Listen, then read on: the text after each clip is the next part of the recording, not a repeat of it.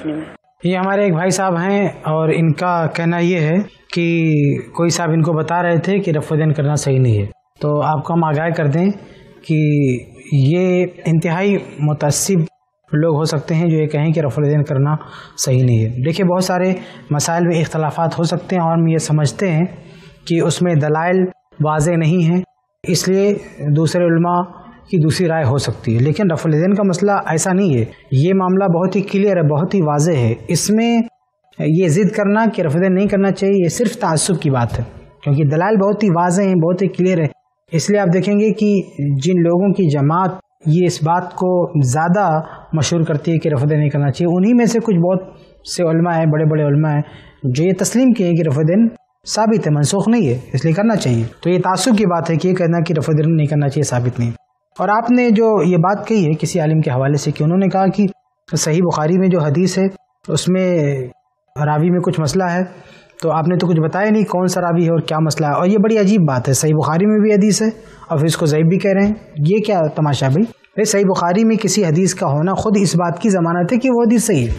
सही बुखारी, सही मुस्लिम, इन दोनों किताबों में जो अहादीस हैं, जो मुस्ंद अहादीस है सनत के साथ हैं मुतसिल सनत के साथ उनकी सेहत पर उम्मत का इजमा है। हमारी किताब है, तरावी के सिलसिले में, इसी तरह से तलाक के सिलसिले में, उसमें हमने बड़ी तफसील से उन इल्म के अखबार नकल किए हैं, जो ये कहते हैं कि सही की अहादीस की सेहत पर इजमा है। तो सही बुखारी की हदीस भी अगर आप ज़यीफ़ कहेंगे तो आप कहाँ से लाएँगे सही हदीस? किस हदीस को आप सही कहेंगे?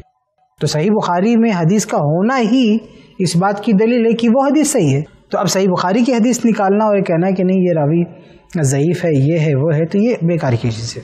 ठीक है? तो सही बुखारी में हदीस का होना ही इस बात की दलील है कि वो हदीस सही है। और आपने कोई तफसील भी नहीं दिया है कि कौन सा रावी है, उसके अंदर क्या मसला है, कुछ आप देते, तफसील देते तो हम कुछ आपको बताते, लेकिन आपने कुछ भी नहीं तफसील दिया है। ऐसे ही मुजमन कहा है कि सही बुखारी की जो हदीस है, उसमें एतराज़ है। तो ऐसा कोई एतराज़ नहीं अब्दुल्ला इबन उमर रजल की हदीस जो सही बुखारी में है, कई जगह पर है। और उसमें एक जगह है कि अब्दुल्ला इबन उमर रज़ी तु ने नमाज़ शुरू करते हुए रफुद्दीन किया, उसके बाद रुकू में जाते हुए रफुद्दीन किया, उसके बाद रुकू से उठते हुए रफुल्दीन किया और दो रकत के बाद खड़े हुए तो रफुल्दीन किया, यानी नमाज़ में चार दफ़ा रफुल्दीन किया। और लास्ट में क्या कहा कि अल्लाह के नबी वसल्लम की तरफ़ इसकी नस्बत की, यानी अल्लाह के नबी की तरफ़ इसको मंसूब किया कि अल्लाह के नबी ऐसे सिखाते थे, ऐसे करते थे। तो अब्दुल्ला इबन उमर रज़ी ने खुद करके बताया और अल्लाह के नबी का हवाला दिया। ये सही बुखारी की हदीस है, बिल्कुल सही हदीस है। इसकी सनत पे कोई इतराज़ नहीं है। इसलिए रफुद्दीन करना चाहिए, बुखारी, मुस्लिम और बहुत सारी कुतुब अहादीस से रफुद्दीन साबित है, बल्कि जो भी मशहूर और बड़ी बड़ी किताबें हैं हदीस की कौन सी किताब ऐसी है जिसमें रफुद्दीन से मतलब हदीस मौजूद नहीं है? इसलिए ये सुनत साबिता है, इस पर अमल करना चाहिए। सहाबे कराम में से किसी एक भी सहाबी के बारे में नहीं मिलता कि वो रफुल्दैन नहीं करते थे।